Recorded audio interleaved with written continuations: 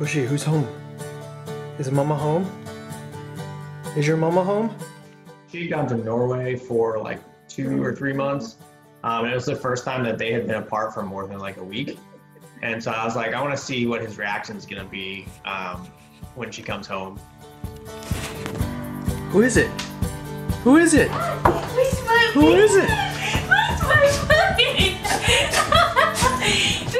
Longest I've ever been away from him, and it was like leaving my kid. And he was two years old at the time. His tail was wagging. He was so excited. He started crying a little bit. I was getting a little emotional, but I was trying not to show it. and uh, it was just one of those like really happy moments. You can just tell he was so excited to see me again. Like he missed me, and I missed him. So it was a pretty surreal moment for me. oh, oh no!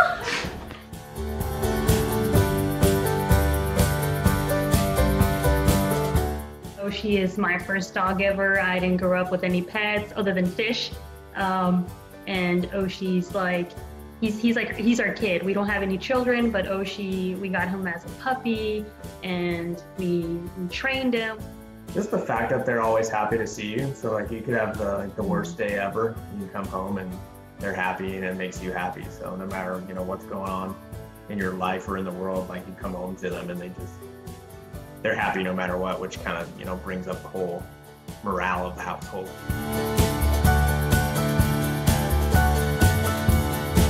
He generally gets pretty excited every day when she gets home from work. Yeah. He gets really mopey when she's gone. Like even if she leaves for the day, uh, and it's just him and me here, he just kind of like he, you can see the change in his attitude. He just doesn't really want to do anything. So he's definitely attached to her more than he is to me.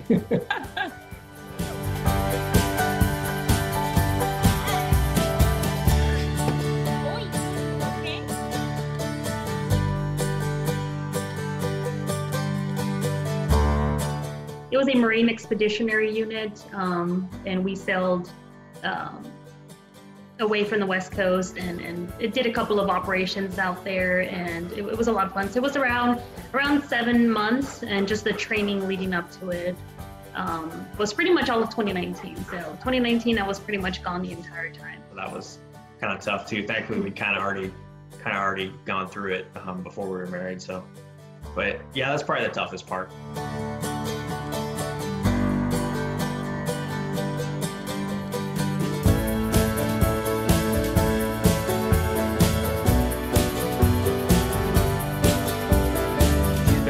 While. He like does these whimpers and cries that we don't normally hear. So you could tell it was it was like a next level like, oh my gosh, she's back.